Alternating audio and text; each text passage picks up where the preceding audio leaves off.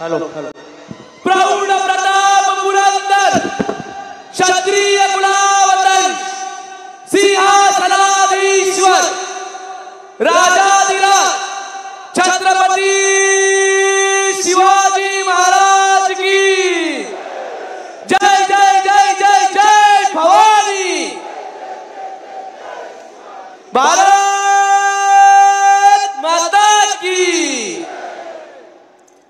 मेरे साथ बोलिए, भारत माता की। मेरे साथ ज़ोर से बोलिए भाई, पीयूष भाई ने कहा, छह की छह सीटें जितनी है जितनी है या नहीं जितनी है? अरे मोदी जी के हाथ मज़बूत करने हैं या नहीं करने हैं? महायुति की सरकार बनानी है या नहीं बनानी है? तो मेरे साथ दोनों हाथ उठाइए। विजय के संकल्प की मुट्ठी पीछे और प्रचंड आवाज़ से बोलिए, भारत माता की जय श्री राम जय जय श्री राम मंच पर उपस्थित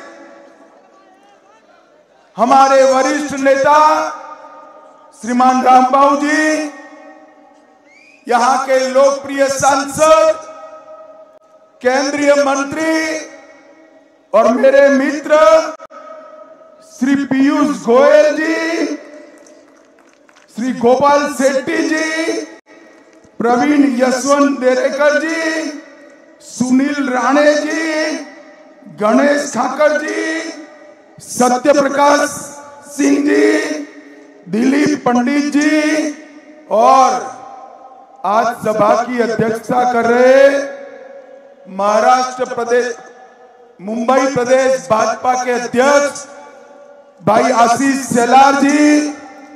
और आज यहाँ पर हमारे छह प्रत्याशी उपस्थित है। सबसे पहले बहन मनीषा चौधरी जी। मनीषा जी आगे आइए जरा। संजय उपाध्याय ज़ोर से ताली बजाओ संजय के लिए। अतुल भातलकर जी, अतुल जी आगे आइए। योगेश सागर, विनोद सेलार, प्रकाश भाई सुरवे, प्रकाश आगे आओ भैया। जरा ज़ोर से ताली बजाइए, उत्तरी मुंबई वालों छे के छह को जिताना है। और आज इस विराट सभा में आए हुए प्यारे भाइयों, बहनों, माताओं और मेरे जिगर के टुकड़े जैसे युवा मित्रों, आप सभी को राम राम।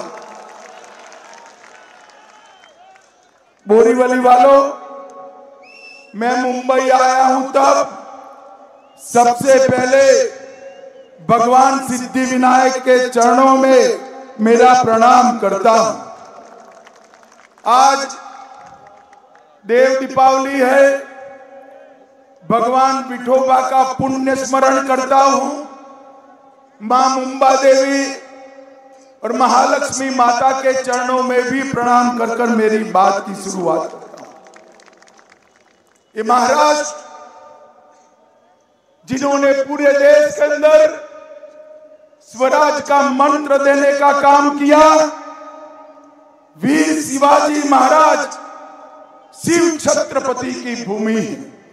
ये महाराज ज्योतिबा फूले भीमराम भीमराम अंबेडकर जी और क्रांति ज्योति सावित्री फूले की भूमि है।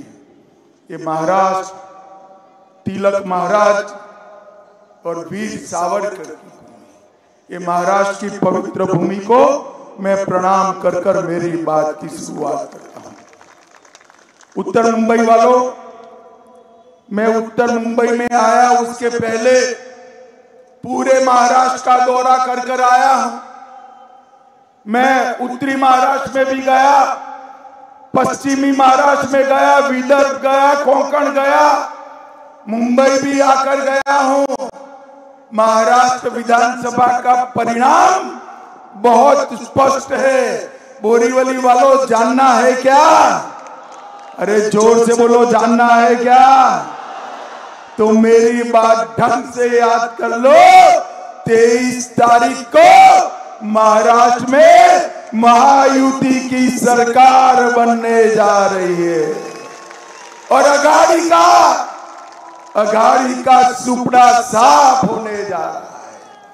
भाइयों, बहनों ये दस साल के अंदर नरेंद्र मोदी जी ने न केवल महाराष्ट्र, पूरे देश को समृद्ध और सुरक्षित करने का नरेंद्र मोदी जी की जो वादा होता है, वो पत्थर पर की लकीर भारतीय जनता पार्टी का संकल्प पत्र ये पूरा होने के लिए होता है। भाइयों बहनों मैंने महाराष्ट्र भाजपा का संकल्प पत्र घोषित किया। उसी दिन ये अघाड़ी का संकल्प पत्र कांग्रेस के अध्यक्ष खरगे जी ने किया। कुछ दिन पहले ही खरगे जी ने महाराष्ट्र वालों को नसीहत दी कि आप लोग संकल्प पत्र ऐसा बनाओ जो वादे पूरे हो। क्योंकि उन्होंने कर्नाटक में जो वादे किए, वो पूरे नहीं हुए। हिमाचल में जो वादे किए, पूरे नहीं हुए। तेलंगाना में जो वादे किए, पूरे नहीं हुए। और खड़गे साहब, आपको आपकी पार्टी भी नहीं सुनती है। अगाड़ी ने जो वादे किए हैं, वो भी महाराष्ट्र में पूरे नहीं करेगी।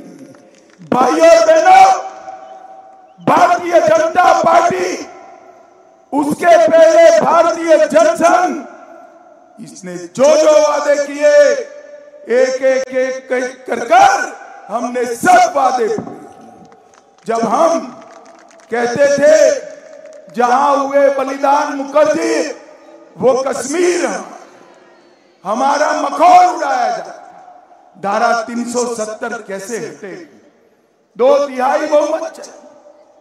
कभी भाजपा का दो तिहाई बहुमत नहीं आएगा। 2019 में मुंबई वालों, आपने मोदी जी को दूसरी बार प्रधानमंत्री बनाया।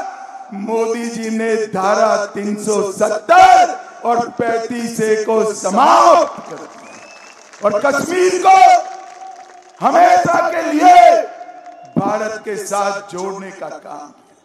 मुझे बरोबर याद है, पीयूष भाई भी थे जब मैं धारा 370 हटाने का संकल्प लेकर राज्यसभा में खड़ा हुआ, एक कांग्रेस पार्टी के नेता, शिवसेना के नेता और शरद पवार जी की पार्टी के नेता, ममता बनर्जी के संसद सदस्य, अखिलेश के संसद सदस्य, सब काऊ काऊ काऊ काऊ काऊ काऊ काऊ काऊ। कहने लगे, मत हटाइए मत हटाइए। मत हटाइए मैंने पूछा भाई क्यों न हटाए? इन्होंने कहा धारा 370 हटेगी तो देश में खून की नदियाँ बह जाएगी। अरे राहुल बाबा छह साल हो गया छह साल। खून की नदियाँ छोड़ो। किसी की कंकर चलाने की हिम्मत नहीं है कंकर चलाने। नरेंद्र मोदी जी ने देश से आतंकवाद को उखाड़ कर फेंक नरेंद्र मोदी जी ने देश को सुरक्षित किया है, नक्सलवाद को उखाड़ कर फेंक दिया है। और भाइयों बहनों अभी अभी कांग्रेस पार्टी ने, कांग्रेस पार्टी ने कश्मीर की विधानसभा में प्रस्ताव पारित किया है कि हम धारा 370 वापिस लाएँगे। बोरीवली वालों में कहकर जाता हूँ, कान खोल कर सुन लो ये राहुल बाबा क्या? इनकी चौथी पीढ़ी भी आएगी धारा 370 वापिस नहीं। भाइयों बहनों पूरा देश मानता है कि कश्मीर भारत का अभिन्न अंग अभी अभी, सुशील सिंधे जी ने कहा कि मैं गृह मंत्री था कश्मीर जाते हुए डर लगता था, डर लगता था। सिंधे साहब, कोई बात नहीं। आप गृह मंत्री थे, आपको डर लगता था। मैं अभी बताता हूँ, पोते पोतियों को लेकर चले जाओ, आपका बाल भी बांका नहीं होगा। और बोरीवली वालों, आप भी कहीं और वेकेशन मत करना। कश्मीर जाकर सिकारे में घूम कर आना और मोदी जी को याद भाइयों बहनों, हमने सालों से कहा था कि हम राम जन्मभूमि पर मंदिर राहुल बाबा 19 के चुनाव में मैं पार्टी का अध्यक्ष था। हर जगह हमें कहते थे, मंदिर वही बनाएँगे, तिथि नहीं मेरा मखोल और भाइयों बहनों, राम की कृपा देखिए उन्नीस में आपने मोदी जी को फिर से प्रधानमंत्री बनाया। और मोदी जी ने पाँच ही साल में केस भी जीता, भूमि पूजन भी किया, निर्माण भी किया और प्राण प्रतिष्ठा कर कर जय श्री राम कर दिया और भाइयों बहनों, साढ़े पाँच सौ साल के बाद, साढ़े पाँच सौ साल के बाद आज रामलल्ला ने पहली बार अपनी दीपावली अपने भव्य मंदिर में बनाने का काम किया है। सिर्फ़ राम मंदिर नहीं, औरंगज़ेब ने तोड़ा हुआ। काशी विश्वनाथ का कॉरिडोर हमने बनाया। और भाइयों बहनों, तैयार रहना, सोमनाथ का मंदिर भी फिर से सोने का बन रहा है, सोने का बन रहा है। नरेंद्र मोदी सरकार है ये भाजपा की सरकार है, जो कहती है, वो करती है। हमने कहा था 19 में कि अगर भाजपा की सरकार आई तो बांग्लादेश, पाकिस्तान, अफ़गानिस्तान, वहाँ से आए हुए शरणार्थी हिंदू, बौद्ध, सिख, उनको हम नागरिकता, हम सीए लेकर आए। इन लोगों ने विरोध किया। मगर आज सीए कानून बन भी गया और सालों के बाद हिंदुओं को नागरिकता देने का काम। भाइयों बहनों, मुझे जरा ज़ोर से बताना उरीली वालों ट्रिपल तलाक हटाना चाहिए था या नहीं हटाना चाहिए? अरे ज़ोर से बोलो, हटाना चाहिए था या नहीं हटाना चाहिए था? ये राहुल बाबा विरोध करते रह गए, मोदी जी ने धड़ाम से ट्रिपल तलाक को समाप्त कर दिया, समाप्त। और भाइयों बहनों अभी अभी कर्नाटक में, कर्नाटक के वकफ बोर्ड ने गाँव के गाँव, किसानों की भूमि सौ सौ साल, तीन सौ साल पुराने मंदिर, लोगों के घर, वकफ की संपत्ति में ट्रांसफ़र कर दिए। कोई रोकने वाला नहीं। मगर आप चिंता मत करो, यहाँ ऐसा नहीं होगा। मोदी जी वफक, वकफ बोर्ड के कानून को उसके अंदर सुधार लेकर आए। मुझे बताओ, बदलना चाहिए या नहीं बदलना चाहिए वकफ का कानून? ज़ोर से बोलो, बदलना चाहिए या नहीं बदलना चाहिए? ये विरोध कर रहे हैं गाड़ी वाले। पवार साहब, कान खोल कर सुन लो। जितना दम है विरोध कर लो, वकफ का कानून संसद में पारित होने वाला है, पारित होने और भाइयों बहनों उनकी त्रुटिकरण की नीति की इंतहा देखिए, उसकी सीमा देखिए। कुछ उलेमा मिलने गए महाराष्ट्र के कांग्रेस प्रदेश के अध्यक्ष को और उन्होंने कहा मौलानाओं को पंद्रह हज़ार रुपया तनख्वाह देनी चाहिए।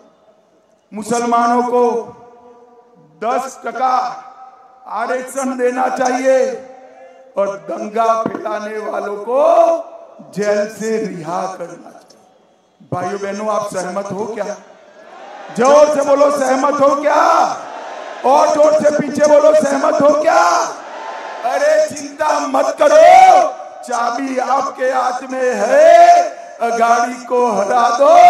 न बचेगा बाँस, न बचेगी बांसुरी अगर ये सब रोकना है तो एक ही रास्ता है। मोदी जी के नेतृत्व में, मोदी जी के नेतृत्व में, यहाँ पर मोदी जी के नेतृत्व में महायुति की सरकार बनाने का ही रास्ता है। भाइयों बहनों मैं जब यहाँ आया हूँ, तब आपको कहना चाहता हूँ, इतने सालों से मराठी को शास्त्रीय भाषा का क्लासिकल लैंग्वेज का स्टेटस देने के लिए मांग थी। मैं शरद पवार जी का हिसाब किताब माँगता हूँ। दस साल केंद्र में मंत्री रहे, कई साल मुख्यमंत्री रहे।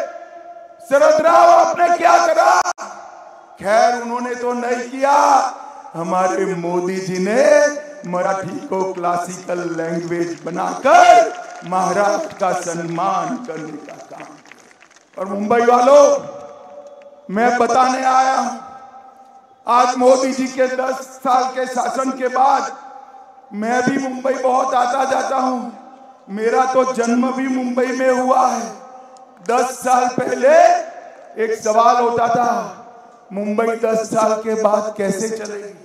होता था या नहीं होता था बताओ भाई? ट्रैफ़िक के प्रॉब्लम थे या नहीं थे? ट्रेन के प्रॉब्लम थे या नहीं थे? घंटों घंटों तक मुंबई से यहाँ आने में देर लगती थी या नहीं लगती थी? आज देखिए, अठारह हज़ार छह सौ करोड़ रुपए से 22 किलोमीटर लंबा trans harbour link Atal Setu Modi ji ने पूरा कर दिया। मुंबई वालों मुंबई अहमदाबाद बुलेट ट्रेन लगभग लगभग कुछ ही साल में ये बुलेट ट्रेन भारत की हाई स्पीड ट्रेन शुरू हो जाएगी और चौदह हज़ार करोड़ का मुंबई कोस्टल रोड सतासी प्रतिशत काम हो गया है। दो साल में कोस्टल रोड भी आप लोगों के लिए चालू हो मेट्रो चालू हो गई। फ़ेज़ वन का लोकार्पण हुआ, फ़ेज़ टू चल रहा है और समृद्धि महामार्ग साठ हज़ार करोड़ से 701 किलोमीटर 11 ज़िले यहाँ से नागपुर तक आठ घंटे का समय बचाने का काम इस समृद्धि मामले मैं उद्धव ठाकरे जी को कहता हूँ, आपको अगर नागपुर जाना है विमान में बैठते हुए डर लगता है। तो अब ये समृद्धि मार्ग के माध्यम से चले जाना, जल्दी से नागपुर पहुँच भाइयों, बहनों, इसके साथ साथ नवी मुंबई मुंबई अंतरराष्ट्रीय हवाई अड्डा लगभग पूर्ति के कगार पर है और दो करोड़ यात्रियों को, आठ लाख मैट्रिक टन कार्गो को ये हवाई अड्डा हैंडल करेगा। और मुंबई की आर्थिक गतिविधियाँ दस गुना बढ़ जाएगी। मुंबई वालों दस गुना बढ़ मुंबई मेट्रो मेट्रो रेल योजना, दहीसर को डीएन नगर से जोड़ने वाली metro line two A, Andheri E को दहीसर ई से जोड़ने वाली मेट्रो लाइन सात, इसका सफल कमीशनिंग हो गया है। और साथ में तीन हज़ार करोड़ की नवी मुंबई की मेट्रो परियोजना भी आगे बढ़ रही है। भाइयों बहनों 9100 करोड़ का ऑरेंज गेट मरीन ड्राइव सुरंग योजना पूरी हो गई और धारावी की एशिया की सबसे बड़ी झुंपड़पट्टी, उनको भी एक अच्छा रहने का घर और उनके वालों को फ़ायदा नहीं होगा। पूरे मुंबई का वैल्यूएशन इस योजना से बढ़ने वाला है। और अपना मुंबई दुनिया के सभी शहरों में प्रमुख स्थान पर बिठाने का काम हमारे मोदी जी कर रहे हैं। Vashi creek bridge, Sion Panvel highway highway, eastern express highway, जो सायन पनवेल एक्सप्रेस वे से जुड़ेगा उसका काम भी मोदी जी ने शुरू करा दिया है। और मैं आज कहकर जाता हूँ, मुंबई वालों, ये टर्म समाप्त होने के पहले मुंबई में से एक एक बांग्लादेशी और रोहिंग्या को चुन चुन कर मुंबई के बाहर करने का काम ये भारतीय जनता पार्टी भाइयों बहनों, हम राम मंदिर बनाते हैं। अघाड़ी विरोध करती है। 370 हटाते हैं। अघाड़ी विरोध करती है। उस्माना नाम का, उस्मानाबाद का नाम दारासीव करते हैं। वो विरोध करते हैं। औरंगाबाद का नाम छत्रपति संभाजी नगर करते हैं। ये विरोध करते हैं। अहमदनगर का नाम अहल्याबाई के नाम से रखते हैं।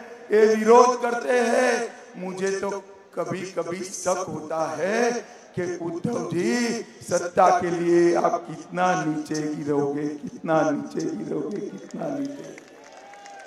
कभी रात में बाला साहब का स्मरण कर कर सोच लेना, बाला साहब के सिद्धांत क्या कहते हैं? थे, पर आप कहा खड़े हो तो आपको मालूम पड़ जाएगा।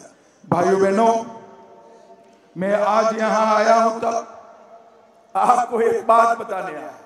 मैंने राजनीति में बड़ी कम उम्र से काम चालू किया बारह साल का था, तब से चुनाव में हिस्सा लेता हूँ। मैंने राजनीति में ऐसा एक्सपेरिमेंट कभी नहीं किया। एक ही प्लेन बीस बीस बार लैंडिंग कराने का प्रयास हो। राहुल बाबा नाम का प्लेन सोनिया जी ने 20 बार लैंड कराने का ट्राई किया, बीसों बार क्रैश हो गया। अब फिर से मुंबई में, महाराष्ट्र में अघाड़ी के बूते पर ये लैंडिंग का ट्राई करे है। सोनिया जी इक्कीसवा क्रैश तय है, आप मेरी बात मान कर चलो। तेईस तारीख को यहाँ महायुति की प्रचंड बहुमत की सरकार बनने वाली है। प्रचंड बहुमत भाइयों बहनों हम लाडली बहना योजना लाते हैं तो वो विरोध करते कि ये तो गलत योजना है। और अपना घोषणा पत्र जारी करते हैं तो वो लाडली बहन योजना का नाम बदलकर अपने घोषणा पत्र में रखते हैं। इनके डबल स्टैंडर्ड्स हैं डबल स्टैंडर्ड्स मैं आज आपको बताने आया हूँ। मोदी जी ने पूरे देश को सुरक्षित करने का आतंकवाद और नक्सलवाद को समाप्त करने का काम किया। मोदी जी ने देश को समृद्ध करने का काम किया। है ये मनमोहन सिंह जी, ग्यारहवें नंबर पर देश के अर्थतंत्र को छोड़कर गए थे। जहाँ अटल जी छोड़कर गए थे, वहीं पर मनमोहन सिंह ने मोदी जी को सौंपा ग्यारहवें नंबर पर। पाँच ही साल में, पाँच ही साल में मोदी जी ने ग्यारहवें नंबर से पाँचवें नंबर पर लाने का काम किया। अरे बोरीवली वालों, पाँचवें नंबर से क्या खुश हो जाते हो? धैर्य धरो। 2027 में हम दुनिया का तीसरे नंबर का अर्थतंत्र बनने वाले भाइयों बहनों जी ट्वेंटी जब हुआ जी ट्वेंटी हुआ, वो मैं दृश्य भूल नहीं सकता।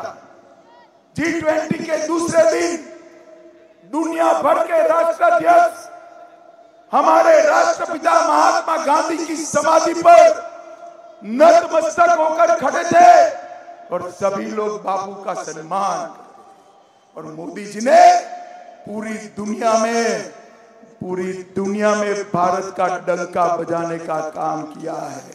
आप में से जो लोग बाहर जाते होंगे उनको मालूम होगा कि भारत के पासपोर्ट का सम्मान कितना बड़ा है, कितना बड़ा है। भाइयों बहनों ये विकास विकास विकास की बात करते हैं। ये झूठ के सरदार गुमराह करते हैं देश। मैं आज राहुल गांधी और शरद पवार जी को पूछने आया हूँ। दस साल तक सोनिया मनमोहन की सरकार चली। यूपीए की सरकार चली। दस साल में आपने महाराष्ट्र को कितना रुपया दिया? जरा हिसाब किताब दीजिए। नहीं लेते मगर भाई, मैं तो बनिए का बेटा हूँ। हिसाब लेकर आया हूँ। सुनना है बोरीवली वालों? सुनना है। इन्होंने 10 साल में महाराष्ट्र को सिर्फ़ एक लाख इक्यानवे हज़ार करोड़ दिया। कितना दिया? एक लाख इक्यानवे हज़ार करोड़। ज़ोर से बोलो, कितना? मोदी जी ने चार से चौदह में एक लाख इक्यानवे हज़ार करोड़ और मोदी जी ने चौबीस, चौदह से चौबीस में दस लाख पंद्रह हज़ार आठ सौ नब्बे करोड़ रुपया देने का महाराष्ट्र का विकास नरेंद्र मोदी के शासन में। शरद राव आपका जब शासन था तो आप कोरी राजनीति करते रहे कोरी और भाइयों बहनों, अभी अभी पीयूष भाई ने बताया, ये वडवान का पोर्ट, एशिया का सबसे बड़ा पोर्ट, सत्तर हज़ार रुपये, करोड़ रुपए की लागत से महाराष्ट्र में बनने जा रहा है, जो महाराष्ट्र की आर्थिक गतिविधियों को अनेक गुना बढ़ाने का काम करेंगे। और तीन साल से फॉरेन डायरेक्ट इन्वेस्टमेंट में हमारा महाराष्ट्र पूरे देश में नंबर वन पर है नंबर वन अब मैं अंतिम बात कहना चाहता हूँ, भाइयों बहनों, ये किस तरह से जनता को गुमराह करते अभी अभी कुछ दिन पहले राहुल बाबा महाराष्ट्र में आए, एक सभा में उन्होंने संविधान लहराया। अब लहराने को तो लहरा दिया संविधान पर लेक्चर भी झाड़ा, मगर जब संविधान बटा और कुछ पत्रकार मित्रों ने संविधान को खोला, अंदर एक भी शब्द लिखा नहीं था फर्जी संविधान उन्होंने जनता में बांटा, इस तरह की गुमराह करने की शर्म करो करो। संविधान विश्वास का सवाल होता है, संविधान श्रद्धा का सवाल होता है। आपकी ओछी राजनीति के लिए संविधान का आप उपयोग करते हो, आपको जरा भी शर्म है तो चुल्लू भर पानी में आपको डूब जाना चाहिए, डूब जाना भाइयों बहनों, ये अघाड़ी, ये राहुल गांधी, शरद पवार और उद्धव ठाकरे महाराष्ट्र का विकास नहीं कर कोरोना में हमने देख लिया किस तरह से सरकार चला। विठोबा के चरण छूने में भी डर लगता था। घर से वीडियो कॉन्फ्रेंस करते थे। कहीं राउंड नहीं लेते थे। इस तरह से सरकार नहीं चलती है। आज एक नाथ शिंदे, हमारे देवेंद्र फडणवीस जी और अजीत दादा गाँव गाँव, घर घर, गली गली, शहर शहर घूमकर महाराष्ट्र के विकास को गति दे रहे हैं। और ऊपर नरेंद्र मोदी जी। भाइयों बहनों, मैं आज आपको कहकर जाता हूँ, एक पाँच साल महायुति को दे दीजिए, मोदी जी का हाथ मज़बूत कर दीजिए, न केवल महाराष्ट्र, पूरा भारत मोदी जी के हाथों में सुरक्षित और समृद्ध बनेगा। मुझे बताओ मोदी बने वालों, हमारी छह के छह सीट, उत्तर मुंबई संसदीय क्षेत्र की भारतीय जनता पार्टी को जिताओगे क्या? अरे ज़ोर से बोलो, जिताओगे? प्रचंड बहुमत से जिताओगे? अब यार कुछ हज़ार लोग हो और कहते हो प्रचंड बहुमत से जिताएँगे, मैं कैसे मान लू? मैं ऐसे नहीं मानूँगा भाई। एक आइडिया बताओ बताऊ आइडिया? कितने लोगों के पास मोबाइल है? हाथ ऊपर करो जरा। सबके पास मोबाइल है ना? तो यहाँ से निकलकर इक्कीस फ़ोन अपने सभी मित्र परिवार सगे संबंधी को करना है कि कमल और घड़ी पर बटन दबाना है। भाई को, भाभी को, माँ को, पिताजी को, पड़ोसी को, फूफा को, फूफी को, काका को, काकी को, भतीजे को, भतीजी को करोगे क्या? ज़ोर से बोलो, करोगे? कमल के निशान पर बटन दबाओगे? मोदी जी के हाथ मज़बूत करोगे तो मेरे साथ दोनों हाथ उठाइए। उठाइए दोनों हाथ। विजय के संकल्प की मुट्ठी पीछे और प्रचंड आवाज़ से बोलिए, जय श्री राम जय जय श्री राम भारत माता की। वंदे। वंदे। आप सभी का बहुत बहुत धन्यवाद। नमस्कार।